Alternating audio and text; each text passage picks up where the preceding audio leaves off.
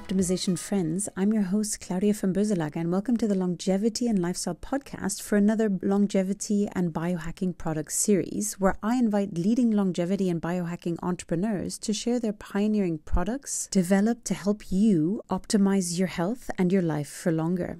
Have you ever wondered how to reverse aging, gray hair, improve cognition, and live a long life in peak health? In today's episode, we will dive into the science behind the so called anti aging vitamin spermidine, one of the longevity secrets of centenarians and blue zone populations. My guest today is Leslie Kenny, founder of Oxford HealthSpan. Leslie is a Southern Californian entrepreneur and graduate of both Berkeley and Harvard, whose life was turned upside down when she was diagnosed with lupus and rheumatoid arthritis in her 30s. Today, at age 56, Leslie is living proof that we can get better with age so long as we take responsibility for our health and meet our doctors halfway.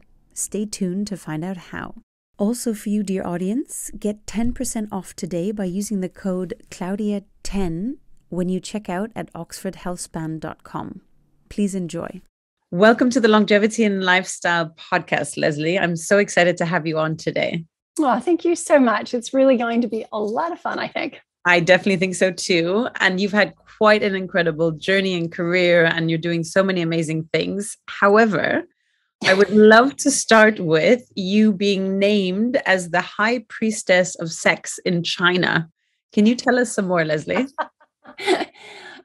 well, so over 20 years ago, I was working for the Walt Disney Company in Hong Kong and uh, got put in charge of this non revenue generating part of the business called the internet. And because I was the last person in, they gave me the role of taking care of the internet in Asia Pacific. And I looked at it and I could not believe what I saw and just thought, this is going to change our lives, the internet.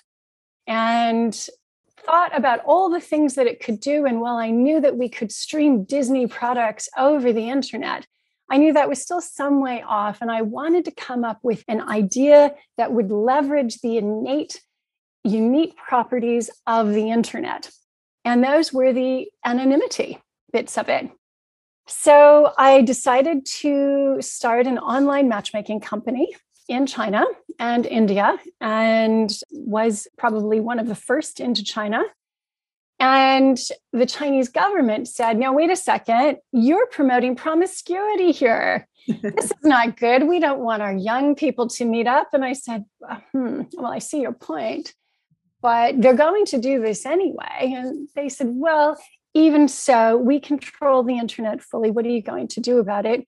We'll just seize your server. And I thought, well, wait, this could be a win win here. How about if we put out a great message that goes with this? And then everybody who wants to meet someone online will get that great message too. And at the time, they were really interested in promoting safe sex. So they said, Great, you just do all the safe sex stuff. And I said, No, far too boring. We're going to have to do good sex. Mm-hmm. And uh, it took me a while to convince them, but they were finally convinced and agreed that in order to attract the bees to the honey, you need to have honey. So you can't just have boring sex, it must be also good sex. Uh-huh. So I set about working with a lot of sexologists and experts in India and China. And we also set up a, a kind of agony aunt column where people all over Asia could write to us with their burning questions about good sex as well as safe sex and love relationships and intimacy.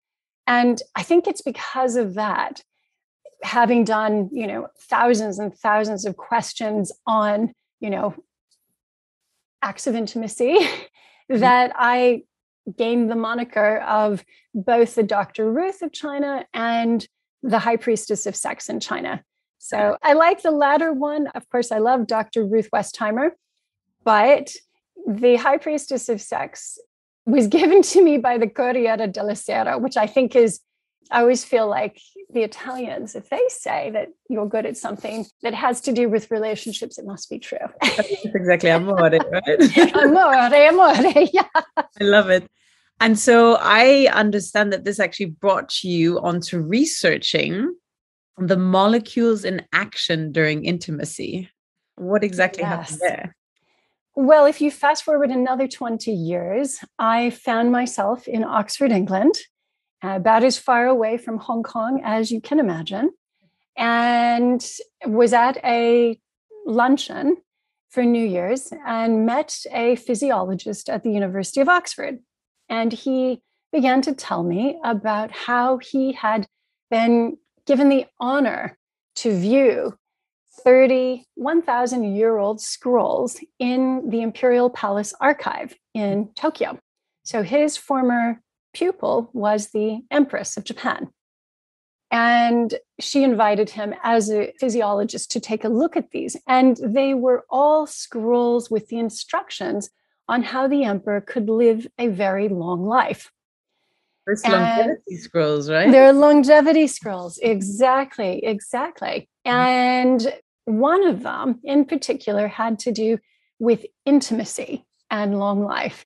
And he told me about this, and I said, Oh, interesting. I wonder if it has anything to do with the Taoist precepts on seminal retention. And he looked at me wide eyed and said, Oh my God, you're probably the only person in Oxford that I can speak to about this. Maybe the only person in all of Britain. I thought, How could that be? But it turns out that it's not your everyday topic, seminal retention. and of course, having been exposed to it for so long, years ago, it doesn't have shock value for me at all. It's mm-hmm. simply a physiological fact, what happens. So we, Denis Noble and I began to delve into this more and more. And he's a pioneer in something called systems biology, where you look at the body as a whole, not just at the heart in a silo or the kidneys in a silo, but as one whole complete system, and mm-hmm. how something that happens in the heart will have an impact on, say, the kidneys. Mm-hmm. So we began to look at the act of sexual intimacy as a whole. What are all the things that happen? We knew already from earlier studies that oxytocin which is the social bonding hormone that goes up. We understood also that the heart rate between the two lovers would actually begin to become entrained, that the eyes, the gaze, the breath, these things, all three of them became entrained. And then we sort of wondered what happened then within the body. And one of the things that does happen is that the man's body is told okay, get ready for procreation. So, upregulate production of, of course, sperm. Mm-hmm. But one of the molecules inside that, along with vitamin C and zinc and magnesium, is a molecule called spermidine. And there has been other research here at the University of Oxford by an immunology professor, Katja Simon, mm-hmm. and another pharmacist, Ghada Alsaleh. The two of them have done research that shows that spermidine actually reverses the aging process in older mice. And this is very exciting when you think about your longevity as a whole, because there are quite a few people who believe that if we can simply keep the immune system young, that it has knock on, positive knock on effects in the rest of the body. And that's why if you lose that function as you get older, you know, somebody who's 90 gets pneumonia, we think, uh oh, this could be it, right? And the reason why is that we know that's often a harbinger of poor health systemically. Mm-hmm. So that's sort of the story of the work that Denis and I have begun to do with looking at these other interesting molecules that the body's internal pharmacopoeia manufactures as part of the reproductive act. But if you are like the emperor and you are able to control your breath, mm-hmm. and you're a man, you may find that you are able to have an orgasm without actually releasing any ejaculate. So you will have produced a lot of spermidine, but it will be retained in the body and we believe helps replenish the body. Mm-hmm. So, very insightful tips, but I think it's probably a very challenging task for men. I haven't done, is that part of Monks can do it. I suppose celibacy will force you to do things like that. Maybe, I don't know. other ways as well. Yeah. Amazing. So, Leslie, let's take a step back and look at sort of your. I mean, you've done so many amazing things, but for to share with my audience as well, what was your journey that made you become so passionate about helping people to transform their health? Well, like so many people who go into the health industry, it was having been personally affected by a number of very sad health outcomes, both personally, but also within my family as caregiver to my father from a very young age and to my grandmother as well before she died. Mm-hmm. And then getting the diagnosis at age 39 that I had both rheumatoid arthritis and lupus, and that there was no cure for the lupus. That for the rheumatoid arthritis, I would be on immune suppressants for the rest of my life, cycled off of one onto the next until ultimately probably go on to methotrexate, which is a chemotherapy drug.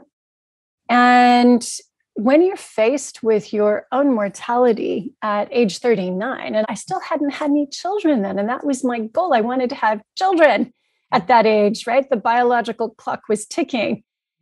And I'd already had IVF doctors tell me I was infertile. And then I had this other doctor tell me, okay, you've got one really not fun disease, rheumatoid arthritis, and you've got this other disease, lupus, and you're never going to get better from it. And there's no treatment really. So, like why? sentence. Yeah. Yeah. And are you sure you want to have children? Because the prognosis, given your cytokine levels, your tumor necrosis factor alpha levels, prognosis is not good. You know, you have a good five years. So I had to search, right? It was up to me. And I think that a moment like that can either crush you or it can empower you. The latter is what happened with me. I just decided I've never heard of this illness, don't know exactly what it means.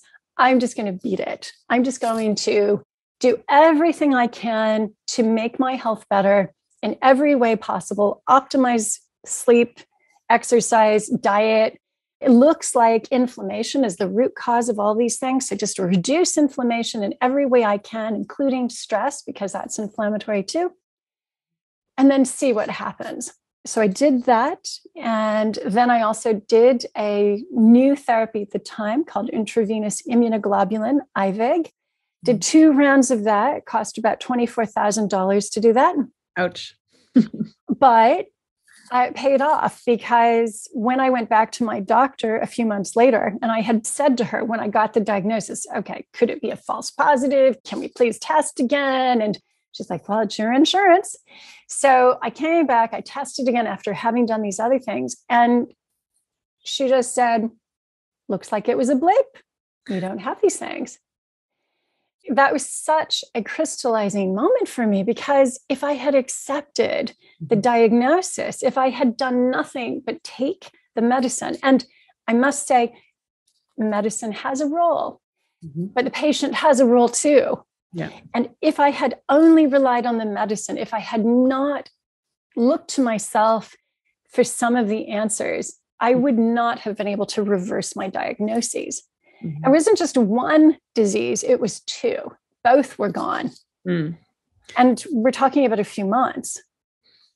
So I've tallied up how much those immunosuppressing drugs, Humira, Enbrel, what they would have cost. They're about $5,000 a month. And I would have spent about a million US dollars had I stayed on them. So it's, yes, it was $24,000. Ouch. But actually, what a great investment. well, hands down. And I mean, that's such an incredible story. And I absolutely love that. And I think for so many people, and again, this is also the point, it's not saying that all medicine is bad, but I think it's always to just double check, you know, is there an alternate route? Like, could I be trying other strategies, protocols in order to optimize myself so that even if I do have to take the medication, it's not as severe and doesn't have such a dreadful impact on my body. So that's such an incredible, incredible example of that. And thank you for sharing your story, Leslie. And I'd love to share also with people from the audience in case someone is suffering with maybe one of these more harsher diagnoses, right? What was some of the mindset strategies that you used in order to not dwell on the diagnosis, but instead flip to, you know, I'm going to solve this? there were probably two. One was just a Midwestern American pioneering mindset. So, my American father was from the Midwest, and my grandparents were really can do people. And you really could tell that their forefathers had cleared the prairies and established homesteads. And they just, you know, there was no other option. I think, in terms of mindset, my only other option was there's no cure. You've got five years, get ready to die. Mm-hmm. So when you're faced with that, then you really just go for it the other way. I think at least that's what I did. I do understand that there will be some people who will say, right, the person in the white jacket has said, this is so, therefore I must believe it. But having been at the sharp end of the medical stick, both with my IVF treatments, with my grandmother's glioblastoma, her brain tumor, with my father's health problems, I already had lost a little bit of faith in thinking the medical answer mm-hmm. is the only solution, and already had a belief that there would be other ways to support my body. And as you perfectly said, if I'm going to take medicine, then let's at least prepare the body to handle it better. Mm-hmm. I did do some visualizations. There is a professor at Columbia University. There's a book on visualizations. Mm-hmm. Can't quite remember the name of it. It has been decades. No problem. But what's the um, professor's name? Do you remember? You know i'm gonna we'll have to look it up afterwards Put it in the show notes. add it in. Yeah. no problem. Mm-hmm. but there is a book and certainly at the beginning of my treatment when i was injecting myself with the immune suppressants they're not fun to inject. You have to inject them into your belly. You will get bruises some days other days you won't. And so i would always visualize the needle going in like butter. These are these little diabetic needles so they're not thin but they are long enough. And just try to visualize this being supportive. At the time, I was living in Boulder, Colorado, and I was walking in the Rocky Mountains every day. And I always tried to imagine nature, working in harmony with nature. And that's a very majestic, awe inspiring place. I live very close to the Rockies there. And just always thought there is a power in nature. And if I can harness that power, the innate wisdom in my own body's nature, we will solve this problem. To heal. I love that. So beautiful and so true as well. I mean, from grounding to just taking a walk in nature to clear thoughts, it's just such a powerful, free, right? Let's not forget. Yeah, it's free. Yeah. Strategy. And I think you really beautifully harness that visualization and thinking the right way to instruct the body sort of metaphysically right to yeah. what you needed it to do. And clearly it worked really well. So you said within three months it three, was between months. three or six months. It's been so many years ago now. I yeah cannot remember exactly. It was certainly less than six months. Really incredible. So let's jump into all things oxford health span. Tell us about setting up the company your mission and sure. would love to dig into that leslie Sure. Well, I live in Oxford, England, and people have described it as Disneyland for academics and scientists. It is it's a magical place and it's like Hollywood for science. You know, if you're in Hollywood and you go to the Ivy and you want to do a movie, you say, okay, there's a script writer, there's a first AD, there's, you know, the director and there's the actor, and you sort of put them all together we do similar things here in Oxford. I can literally, you know, walk down the street. Oh my God, there's a great mathematician. He would be great for systems biology and computational biology. There's someone over there who's a wonderful immunologist, and here's somebody who's a great pharmacist. And you kind of pull them together into the orbit of whatever project you're looking to develop. And I had done some other projects before this one, always in the regenerative medicine space, but where I was raising capital for these other companies. And they were always very big, you know, the kinds of things that venture capital companies like to invest in. Through that, I learned about Katja Simon's work. And the person who introduced me to her said, Oh, she's right up your alley. You know, you're a health coach and you're into all of these, you heal with food and let food be thy medicine. You'll love her because she's working on spermidine, and spermidine is in every plant, animal, and human. and you know but it'll never get patented and there's no money in it and immediately like, I was attracted to the challenge. I thought, hmm, is that true? Is that a true statement? It's kind of like what Brene Brown says, you know, is that true, that thought you've just had? Yes. Is there really no money in that? It sounds intriguing. Mm-hmm. So the more that I dug into spermidine, and I learned that it not only helped reverse the age of the immune system, but that it could help with cognition, that there had been human trials showing that it improved cognition in those with subjective cognitive decline, that it helped with sleep, that it seemed to help with hair, skin, and nails, that it was very good for bone health, that it seemed to, when it came together with other polyamines like spermidine and putrescine, that it also seemed to help with hormones. I thought, I think this has a place on our supplement shelves. And in particular, the reason for that is that it has the ability to slow down six of the aging pathways. And there are nine in total. Mm-hmm. And some of them are ones we are pretty familiar with, like stem cell dysfunction, mitochondrial dysfunction.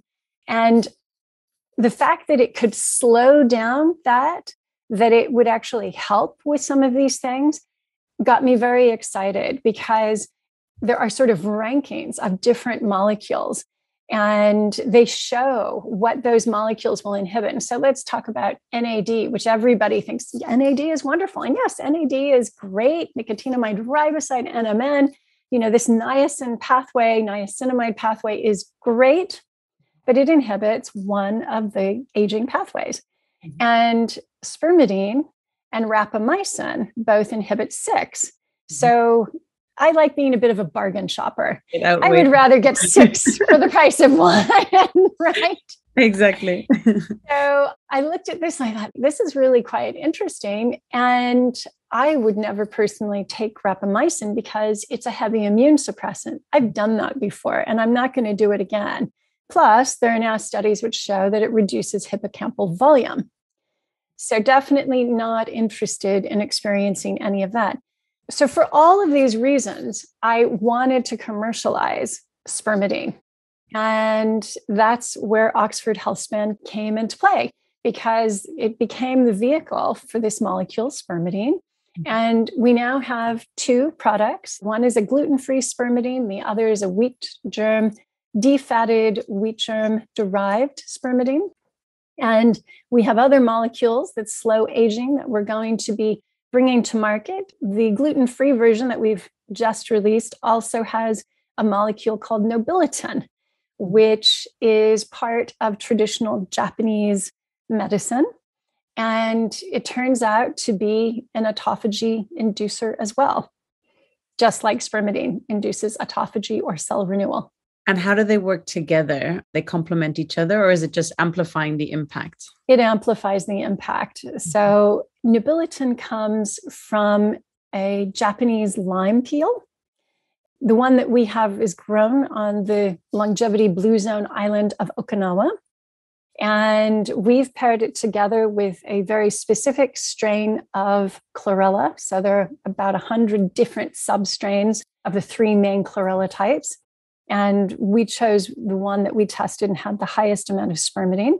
We put those two together and added a little bit of turmeric to reduce inflammation. Mm-hmm. Spermidine itself will also reduce inflammation. So, two anti inflammatories mm-hmm. and two autophagy inducers in one. It sounds like quite the powerhouse. Have you done some studies with it or do you have any trials? So, we haven't done any studies with it. We'll probably begin trials with it soon, but that's what it looks like. And you might see those little yellow flecks are the shikuwasa, the lime peel. And because of the fact that spermidine and nobiletin have been studied, and turmeric obviously has been studied, you know, we haven't done that. If you do go the way of the trials, they can be quite expensive. And we're not a drug company and we don't want drug company prices. So that's something that we have to bear in mind from an economic perspective. But we will try to do some studies, possibly some human trials here. You know, in the next couple of months, we may start those. I'm happy to volunteer as one of your study. Yeah. Okay. Of course. Excellent. Sounds like a powerhouse thing. I'm all about getting younger. I now officially have a biological age of 26, so 14 Ooh. years younger. I'm trying to get to 20 and then keep it there. So that's exciting. I'm on my way. Can you share a little bit more about the mechanisms that are in action? So you said it assists with six of the aging factors, but what exactly is happening there, just so people can have a better granular understanding? Yeah, well, it really starts at the cellular level. So uh, the cells are the building blocks of every organ, tissue in our body. And we need those to be in tip top condition in order for the rest of the body to be solid. And inside the cell, you have things like mitochondria, you have proteins, and there are all sorts of ways that the cells can go wrong. So I've mentioned stem cell dysfunction, but also things like repairs to DNA. So mm. your DNA may get damaged, your mitochondria may get tired or sluggish. As they get older, they get replaced less frequently because the body does have its own inbuilt kind of oven cleaning system and can normally clean out the damaged mitochondria or the misfolded proteins in the cell. But as we get older, we do that less and less. And scientists have now discovered that that is because this process of autophagy, or self eating in Greek, which is cellular renewal and repair, that happens less frequently. I'm sure lots of your listeners know about the benefits of fasting and sauna and cold water plunge. All of those things will trigger autophagy as well. But you can do the same with some of the molecules in foods. So I mentioned earlier that spermidine is produced by you, me, our children, our pets. Every plant, that house plant behind you is making spermidine as well. And it's just that the older that we get, the less spermidine we manufacture. So, if you look at the octogenarian or centenarian populations, those healthy populations, they actually have the same spermidine levels as young people, mm-hmm. which is interesting. Yes. And our gut biomes can actually produce spermidine as well. So we produce it in our tissues and our gut biome, and we also get it from food. As we get older and the tissue production declines, we need to rely more on the gut biome and also on supplementing with food. So these populations often have high spermidine content foods in their diet. If you think about the Mediterranean diet, it has a lot of plant material in it. The Nicoyans in Costa Rica Peninsula, same for them. Okinawa, exactly the same. And then the Italians, the Sardinians, they have cheese as well. And cheese actually has some spermidine in it. The longer the maturity, the higher the spermidine content. Mm-hmm. So there's something about fermentation that seems to increase the amount of spermidine. Same in Okinawa with natto, which is a fermented soybean dish. Mm-hmm. And kimchi as well is also kimchi, Korean cabbage. That's right. So mm-hmm. I've not actually seen the statistics on how much spermidine is there, but I'm sure that cabbage will have some. It's not going to be the same as, say, mushrooms, shiitake mushrooms, but mm-hmm. there will be some there, and the fermentation process will increase that amount as well. And so, with Oxford Healthspan and your products, what you've done is really packaged the best or the level or ratio of spermidine in a tablet form as a supplementation. Yes. Right? yes. So remember that those centenarians that I talked about in the blue zones. Their blood markers of spermidine were just as high as when they were young, which says it's the gut and or the supplementation, the food that they're taking in is actually allowing them to create the spermidine or to get it into their bodies. So we've taken just food derived spermidine and we've concentrated it with our original product, which is a wheat germ derived product. We went to Japan and we got a product that had actually all the polyunsaturated fatty acids removed. Those go rancid really quickly. So, the reason why bakers don't like wheat germ in their products is it causes the bread to go rancid on the shelf. I know there are a lot of other products out there that don't do this, I really wanted to remove those because those polyunsaturated fatty acids can actually be incorporated in the outer membrane of your cell. And you don't want wonky outer membranes. You mm-hmm. want really symmetrical, round cells. So we took that out and we added in a prebiotic. Mm-hmm. And that is a fructooligosaccharide, which two strains of bacteria in the gut biome love. The Fuso and the Bacteroides bacteria love this particular FOS. And those two strains of bacteria are capable of producing spermidine. So you get supplemental spermidine in the minimum effective dose of one milligram, but you also get the prebiotic fibers to potentiate your gut biome's own natural built in ability to create its own spermidine. So that was product number one. and then the second product, which is this gluten free product, again, we went to Japan. They have really high food safety standards. We looked at all these different strains of chlorella to find one with high spermidine content. But then we also looked at traditional Japanese Kampo medicine. It's the analog of traditional Chinese medicine, but it doesn't use any metals and it doesn't use any animals. So we looked at that and really liked shikuwasa or Okinawan lime. And that has been used for centuries. Probably they didn't know that one of the things that it does is it triggers autophagy. But mm. that is because of this molecule called nobiletin. So we put that in there and then the turmeric. So, as said before, the two anti inflammatories and the two autophagy inducers, and all food based. I really wanted it to be food based because there are, of course, synthetics and they have exactly the same chemical signature. They are a lot cheaper. But if I do this, if I put my hands together, the two palms of my hands together, we would say that my right hand and my left hand look identical. And mm-hmm. that's kind of what it is when you take a synthetic and a food derived molecule. Now, if I were to take a glove that fits my left hand and try and put it on my right, it mm-hmm. wouldn't work. And that's the problem is that sometimes with these synthetics, you actually don't get the same effect as you do with the food derived because the body recognizes the food derived like it would the glove to the correct hand. It's almost like a lock and key principle. Just because the key fits into the door doesn't mean that it can turn the lock. So that's my issue with synthetics is mm-hmm. that you know they don't always work in the same way mm-hmm. as food derived molecules do.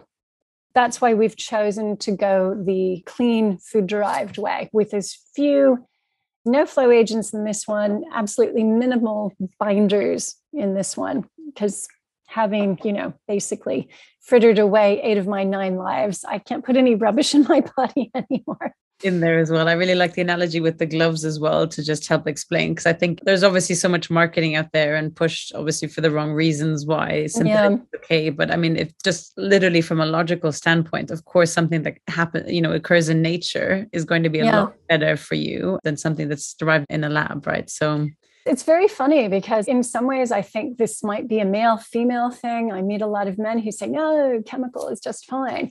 But this concept is mm-hmm. known in chemistry as left and right handedness. The fact that molecules can mirror each other, mm-hmm. but actually yeah. they fit differently in the body. So I suppose I've always had such a respect for nature and just believe in the wisdom of nature to bring the body back to balance mm-hmm. that I want to give my body only natural things. I love that. And I think also for people to start retrusting the power of the body to heal itself. Growing up, sort of in the last decades, it was very much like you need an external pill or person or whatever to heal you but just to give your body actually the chance between you know sleep having really good herbal teas you know if you have like the slight colds you know i have a friend i've tried to talk to a few times but loves antibiotics. And so her first thing like she's a sore throat antibiotics. And i just think you know there are other strategies you can pursue. And so i think getting to that frame of mind of empowerment like let's see how i can heal myself as a first mm. point, and then supplying it with the supplements like spermidine yeah. and other nutrients that are really, really good for the body, and then see how far you get. And before then going to the default sort of pill popping route, if you will. Leslie, can you talk about some conditions that you see have had huge positive impacts from taking spermidine? So, what we've heard from our clients tends to be around more energy, mm-hmm. and another one is sleep. And the other would be on um, beauty front and then on memory. So, I'd say those are the four areas where we get the most positive letters in our inbox. And sleep, I'd say, is the most frequent that people say with both products, they don't know why, but on their sleep tracker, whether it's an Oura ring or a BioStrap or a Whoop we're members of the same tribe, um, that they can see that their deep sleep has been enhanced. Uh, other people who are doing shift work who say that it helps them with that, those who are trying to work a different time schedule there was a podcaster named Zora Benhamou, and she was doing a course in Los Angeles, but from Spain. And so she had to, you know, basically look at a class at I think 12:30 a.m. Spanish time. And she took Primeadine throughout and documented it on her feed and just couldn't believe that she was still getting the same amount of deep sleep because traditional wisdom says that your deep sleep window is between 10 and sort of two o'clock. And if you miss that, it's gone. But she was able to time shift, as it were, such that she didn't miss that deep sleep window, which is so important for the glymphatic system mm-hmm. to kick into motion, to remove the debris from the brain at night. So that's probably number one. I'd say number two is this will sound so funny, but it's around hair people love their hair. I love my hair, right? We all say that we love it, and yet it's a multi billion dollar industry. exactly. Beauty is a huge industry. And people will say, my hair is thicker, or my eyelashes are longer, or I used to over tweeze my eyebrows in the 90s and I don't have eyebrows. And now the look is the thick eyebrow. And now they've come back. Or what else? Oh, hair color, pigmentation. This was quite unexpected, especially among older people, even 90 year olds, that pigmentation was coming back and that there was new hair growth in these, I would say, much older clients. And that was a surprise, but we do get that it's not every single case. Results are going to vary. We're all bio individual, but it can happen. And then I'd say energy HRV improving, and they have the energy and also the mood, the right mood. We think that this is because if you supplement with spermidine, you are conserving the body's own reserves of L-arginine, which is good for the heart, and L-ornithine, and also SAMe. And SAMe is very good for mood. Mm-hmm.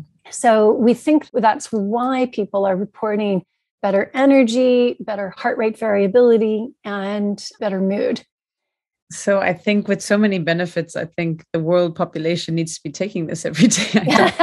well, really, the main benefits are the ones that are going on under the hood, and those are the slowing down of the pathways mm-hmm. on which we age. And I think those are much more important than any of the individual other benefits but I mean, again, I guess it's a compilation of different things. But if people are getting better sleep, you know, they're better mood, they're happier. You know, you show up differently to the world every day as well. Then you're also looking better, so you feel better. I mean, it's just yeah. a domino knock-on effect as well. Yeah. Well, it's all about health span, right? Who cares about lifespan? Because frankly, if you have a long lifespan, but you are miserable, in pain, unhappy, who wants to live 10 years like that?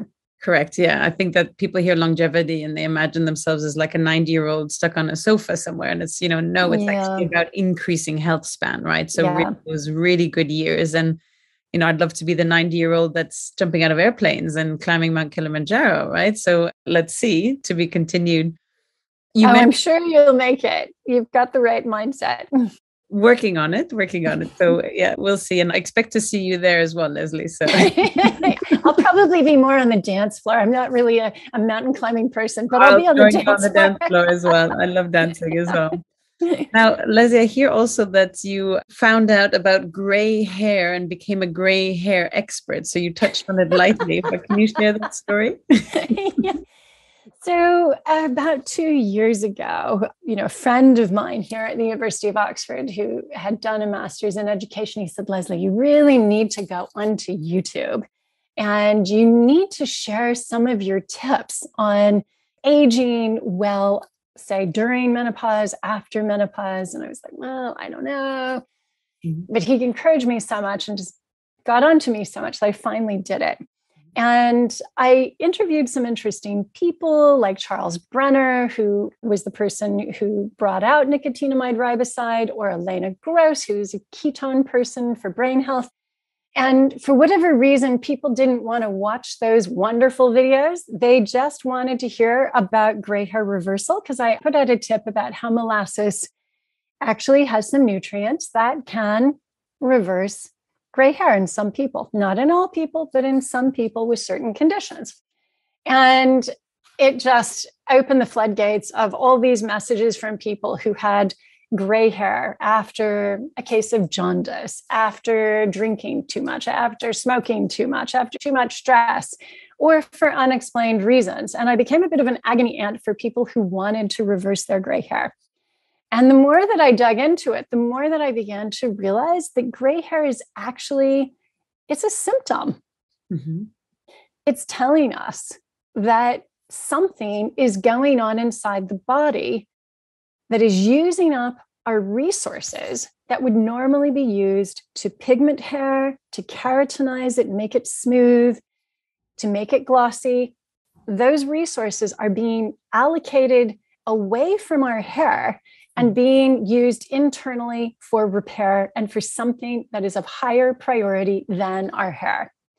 And once I understood this, I began to look at other causes of gray hair low vitamin D, low vitamin B12. This is common among vegans who don't necessarily always know that they will need that. Maybe it had to do with low thyroid function, or maybe too high thyroid function. Um, maybe it had to do with H. pylori or Candida albicans infection.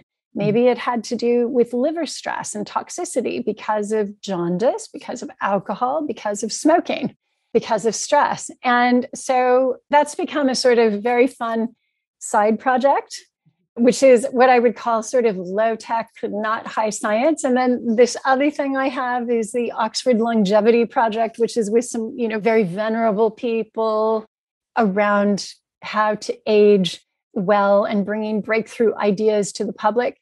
But yes, I have these sort of two personas the YouTube gray hair reversal expert and then the longevity project. Well, Leslie, you've had many hats on, so I'm not surprised at all. But I'd love to hear a bit more about the longevity project you have. What's going on there?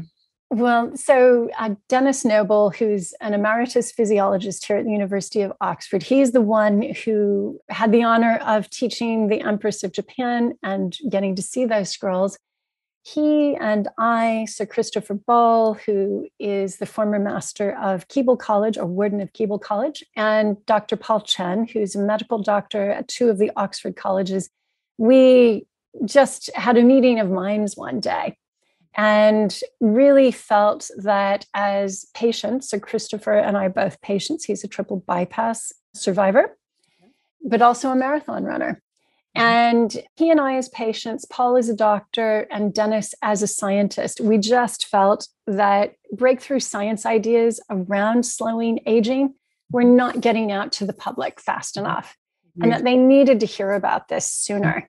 So we've now done three of these symposia or webinars where we have looked at the idea of autophagy, of cellular renewal and its place in the aging process, how we can manipulate it to age slower. And all of those are free of charge on oxfordlongevityproject.org. And we look at the immune system. We've looked at brain health with Dr. Dale Bredesen, who I know you've also interviewed before yeah. Uh, Dr. Barry Boland in Ireland. And then we've had cardiovascular experts, Professor Robin Choudhury from the University of Oxford, and also Dr. Junichi Sadoshima from Rutgers University Medical School. They've spoken about how we can repair the heart.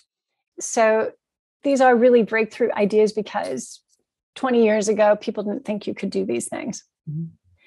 But actually, if we can harness the body's innate wisdom to clean up these cells, to kill off the bad cells and mm-hmm. replace with new, we can actually help the body come back into balance and stay young. And it's so exciting as well because I think when I was really digging into it, like, why do I find this so exciting? And I think if you can help a human being be at their best, be at peak performance every day, be full of life and happiness, and not worrying about doctor's visits, you know, a depressing diagnosis, for example, that, you know, means pills and down a vicious circle. So you free up all that capacity and energy, then just think of the impacts all these people can make on the world, the positive impact that they can yeah. in their purpose and passion. And that is for me also part of my mission. Like, how do you impact a billion people to help them live at their best? And what yeah. free up in the world as well, in terms of resources, abilities, intuition, creativity, ideas when you're living at peak state. So you're such an exciting right. space. Yeah. And I love what you're doing here. So thank you so much, Leslie, for your amazing work. And likewise, I love what you're doing too. Well, we're on the same reading from the same hymn sheet, as they say. For sure. Exactly. I think after I'll have a few follow up things for you as well. But before we finish up, I'd love to jump into a few rapid fire questions, sure. Leslie. When you think of the word successful, who's the first person that comes to mind and why? well, it's going to have to be Denis Noble, the Oxford physiologist. Not only has he been a pioneer in our understanding of the cardiovascular system and a pioneer in systems biology, but he has this amazing joie de vivre. And he's an expert in French troubadour songs. and he sings them, he plays them, he regularly plays at concerts at the Sheldonian here in mm-hmm. Oxford, which is our one of our main concert halls. He's been on French TV recently. He was on Korean TV before that, talking about philosophy. So I would say that looks successful to me. He's really lived life to the fullest and he's 84. Wow. But he has the spirit of a 24 year old that's what I think is incredible. He's indefatigable. And he always says to me, Leslie, keep going. I think of him, I just think, Denis, gosh, yeah, keep going because he, he never yeah. stops. He always has about three books on the go at any one time. Oh, wow. I love that. Leslie, do you have any particular morning routine or even daily or weekly routines that allow you to be at your best each day? I do. I do. My morning routine is pretty simple. It probably starts the night before with my bedtime routine. Because if mm-hmm. I don't get a good night's sleep, the whole morning is off. So I'll say very quickly my evening routine is glutathione, astaxanthin, progesterone in the form of HRT, mm-hmm. magnesium, L-theanine, and spermidine. Mm-hmm. And I take all of those together with a little bit of melatonin and some thyroid hormone. Sleep, you know, sleep through the night. And then when I wake up in the morning, it's a little more thyroid hormone because I'm a hypothyroid patient. And then I have estrogen, mm-hmm. which, of course, for us women is so protective of bones and brain and heart. So, HRT, I highly recommend. Mm-hmm. And I have all of my supplements already, you know, in little pill boxes for two weeks at a time. So I go straight into the hormones. I've already talked about estrogen, thyroid hormone, but I do DHEA, pregnenolone as well, some adrenal hormones. And then I've got supplements for later after I've broken my fast for the morning. I will usually have coffee, not so dark, with some medium chain triglyceride creamer and with some collagen and he shou wu, which is also good at reversing gray hair. Uh, it's a traditional Chinese medicine herb. And a little bit of cardamom, cinnamon, and nutmeg into my coffee and some raw cacao. So that's a lot. Yeah. And then KAATSU. I love those Japanese compression bands that go around your arms. Oh, walk me through that. I'm not that familiar oh my gosh, you ah. you need to know about this. So, know about this. Um, KAATSU, which just means more pressure. It's not like chicken katsu, which is so something shiatsu, like a shiatsu. Exactly, like shiatsu. Right? So, atsu yeah. just mm-hmm. means pressure. Ka just means more pressure. Ah, okay. Mm-hmm. And so, imagine having you may have seen in the gym some of these bodybuilders with bands around their arms while they're lifting. Mm-hmm. You're trapping the nitric oxide and lactic acid into that limb so that when you actually release it, mm-hmm. the pituitary gets a signal that, oh my gosh, you have been lifting really heavy because there's tons of lactic acid and nitric oxide built up here. And as a result, it sends growth hormone that is naturally produced by our bodies, not injected, not a $1,000 a month, which our internal pharmacy makes for us for free under the right conditions. that then goes to the site of the perceived injury and it builds up muscle. So it is a really quick and easy way to build muscle. But they have done a lot of work with returning veterans with injuries. And so, with someone who's paralyzed below the hips, they can do KAATSU bands just on the upper arms. And the injured person will say, You know, I'm regaining feeling in my legs. Wow. There is a systemic benefit, and a huge believer in KAATSU. It does help with HRV. Mm-hmm. And there are a lot of studies out of Japan on its benefit. As a matter of fact, if you come out of the cardiac surgery ward Mm-hmm. You come out of the operating theater at Tokyo University, they put these bands on your arms, and the nurse will mechanically pump your arm to get your body to produce growth hormone and they think stem cells to go and fix the heart. This sounds amazing. And what type of band is it? And you wrap it around? I mean, yeah, it, it looks like a thinner type of blood pressure cuff. Okay. And it has a tube in there which has air pushed into it. So mm-hmm. it kind of blows up. And that is what compresses it so that you don't injure yourself. You, you don't want to tourniquet there, cutting off circulation. It sort of pulses. So it will compress for a certain amount of time and then it releases. Mm-hmm. And I think that's really the secret sauce of it is that it does that automatically compression and release, compression and release but it's fantastic. A lot of Olympians use it on teams all over the world, from Michael Andrew, US Olympic swimmer, Bode Miller did it, Todd Lodwick, who was on the US Olympic ski team, slalom racer, he did it too. So it's very proven and one of my favorites. Is there a brand that you particularly recommend? So if people are interested, including myself. yeah, it's KAATSU, K A A T S U. K A A T S U. Okay, and that's the brand as well, and it's that's the brand. Definitely, I will. I will introduce you to the CEO. He's a oh, lovely guy. He's another Southern Californian like me who has a, a Japanese connection. Amazing. I love these hacks and things like that as well. And I guess I was even thinking of taking it to another level if you were to do it in a hyperbaric oxygen chamber. Mm what the benefit might be for that because you are pushing so stem cell regrowth mm. i don't know if it would interfere with the growth factor. It's funny because i've done a lot of hbot i've done many hbot sessions just to make sure that my immune system is in homeostasis.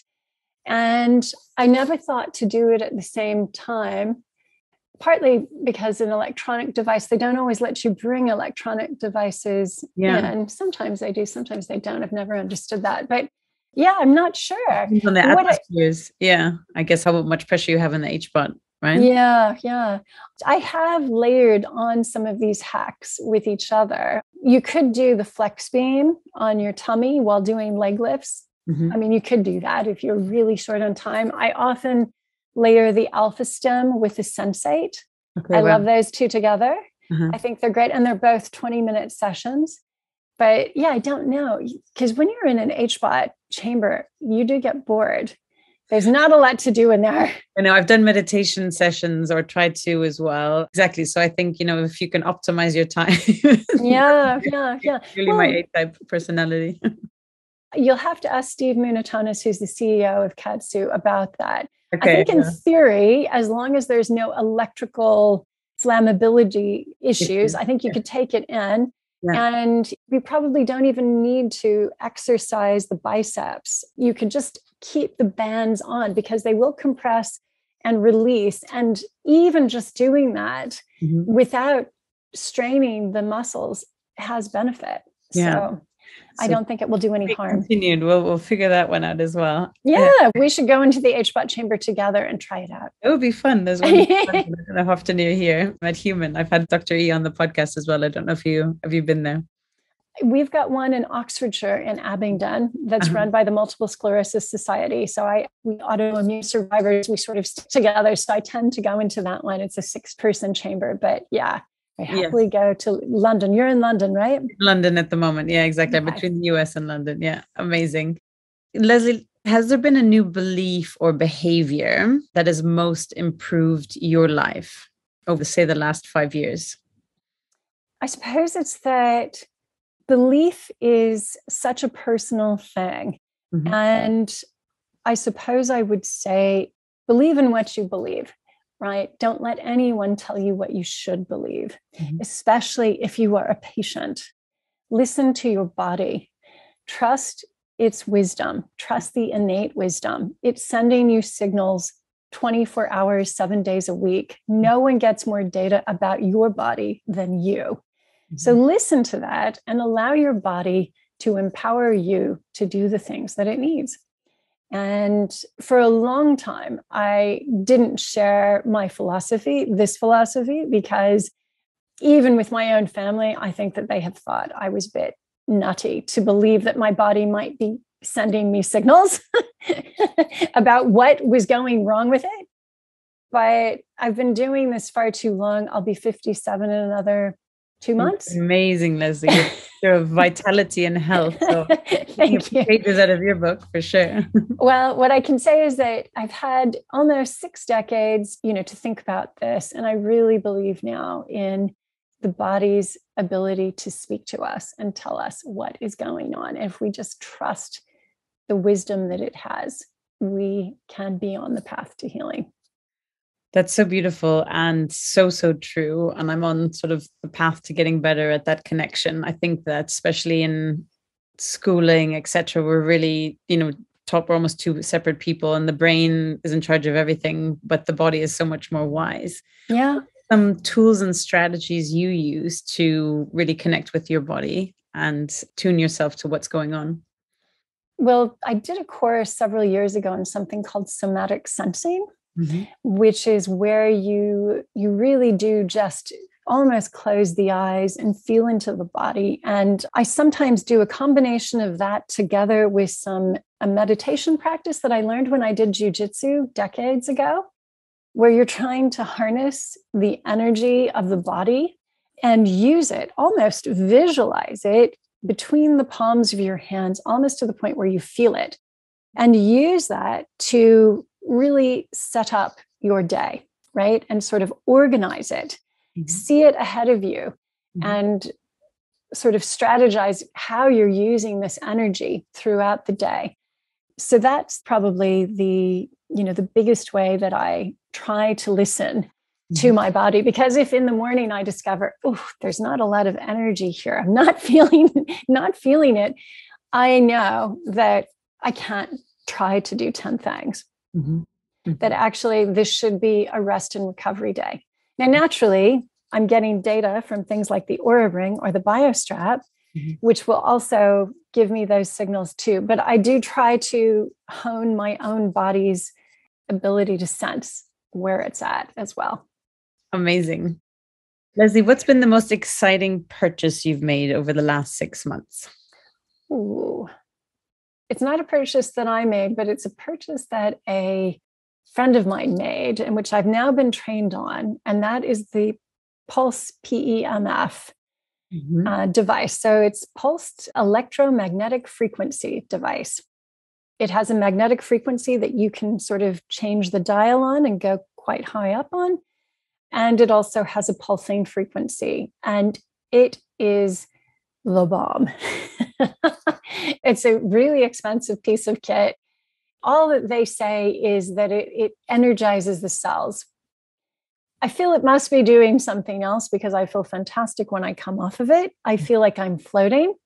It's basically a quick way to get that float tank feeling, but in say 20 minutes without having to go into the float tank. Mm-hmm. And it does have a number of studies showing that it helps with things, anything from mood conditions such as depression, OCD, anxiety, bipolar, as well as helping the body to heal faster.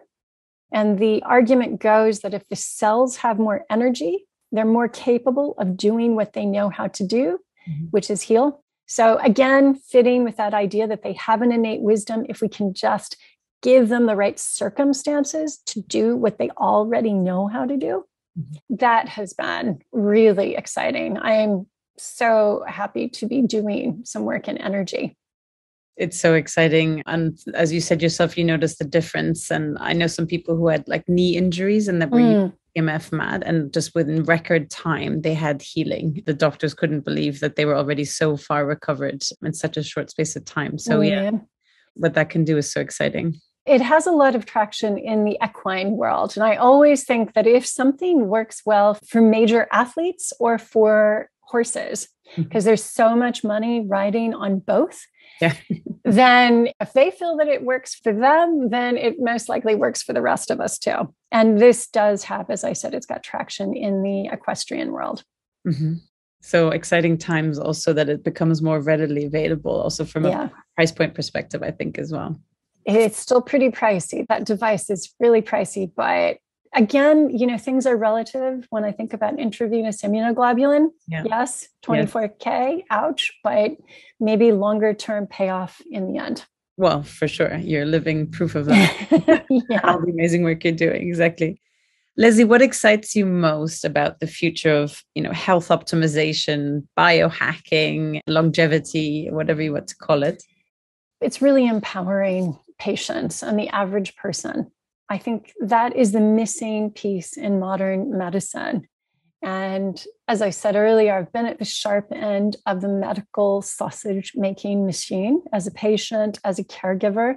Mm-hmm. And often the patient and empowering the patient is just not part of the equation. I think we have a lot to offer to mm-hmm. our doctors, to our own healing process but we need to be we probably feel we need to be given permission by our doctors. So i'm very excited that i see so many new voices like yours those of people who've been around for a long time like samuel shem who wrote the house of god years ago or by people like professors martin yuille and william ollier at the university of manchester who wrote saving sick britain. I feel like all of these voices are converging and saying the patient is missing. Mm-hmm we need to empower the patient. Mm-hmm. And this is where we as a society get better, mm-hmm. right? So we need to empower the patient with the tools for healthy aging. Mm-hmm. And that's what gets me very excited is I think we're now at that place and I sincerely hope that there won't be cases like my grandmother or my father in the future that there won't be other children who have to go through what I did Mm-hmm. and other patients who won't have to go through you know getting the terrible diagnoses that i did but will be able to work towards reversing their illnesses and finding optimum health it's such an exciting time. I think 70% of chronic diseases are now reversible if caught on time. I mean, you said yeah. Gilbredicin on, and you know, Alzheimer's cognitive decline is a 20 year in the making disease. Yeah and knowing which markers to test for and keeping on top of it is just so empowering because you yeah. can essentially prohibit you can avoid it. Yeah. totally avoiding it as well. Yeah. Reversing type 2 diabetes and so many other things as well. So it's really spreading the word and knowing that a it is reversible and, and that we can manage it much better and then b what the tools and strategies are to optimize things. So absolutely. exciting times. Leslie for my listeners interested in understanding better spermidine and what you're up to. What are some of the online resources or resources in general that you would recommend they start with? Well let's see. If they're interested in spermidine they can go to oxfordhealthspan.com so spelt just like it sounds oxford health and span like the span of a bridge if they're interested in gray hair reversal, they can go to Leslie's New Prime, L E S L I E, Leslie's New Prime on YouTube. If they're interested in much higher science and autophagy and the idea, the science of slowing aging, and some rock star scientists talking and clinicians translating on how we can use it, then they should go to oxfordlongevityproject.org. Mm-hmm. Excellent. And are there some social media ways that people can see what you are up to yourself? Are you on Twitter or? I'm on Instagram under Leslie's New Prime as well. Leslie's New Prime. Perfect. Yeah. Leslie, do you have a final ask or recommendation or any parting thoughts or message for my audience? Yeah, I think the parting message is look at aging as driving a race car mm-hmm. and just slow down the speed at which you're going, take in the scenery around you, just slow that down. Look at the tools that exist out there to slow down that aging process so that you can simply avoid the diseases of aging. With those wise, amazing words, thank you so much, Leslie, for coming on today and sharing your wisdom and very fun and incredible journey. Thank yeah, you. It's been great fun. Thanks a lot.